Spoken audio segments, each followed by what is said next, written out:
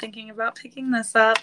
It is the floral smocked top. So I love this top. I think it's so great. I really, really like that cut. Like, I just like when things are flattering on your arms. So I like that it's a balloon sleeve. I think balloon sleeves are I really love that trend. I think it's one of like the best trends that's happened recently. I think it's just so flattering.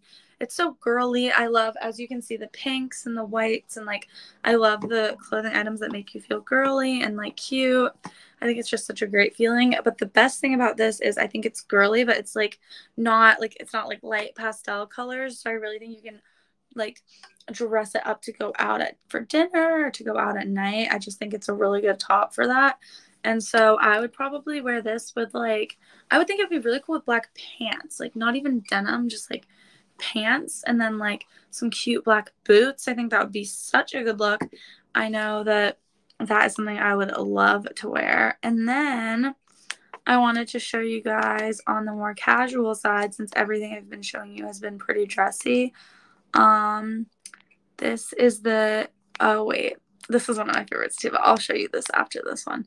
Okay, so um what jewelry would I wear with that? So I would probably wear, let me go back to it.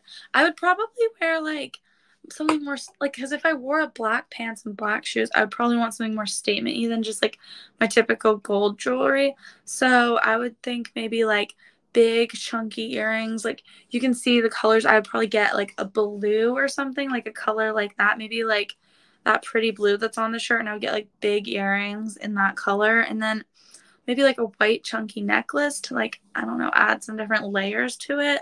I really think you could dress that up or down, and it's such a nice cut on the neckline that any necklaces you wear are really gonna pop, which is another one of my favorite things about that top. So that is just such a great top. So do you guys have any other questions on that?